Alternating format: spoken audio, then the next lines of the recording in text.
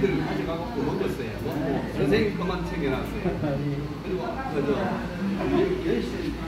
오늘 잠시 안내받은 결심하셨습니다. 아마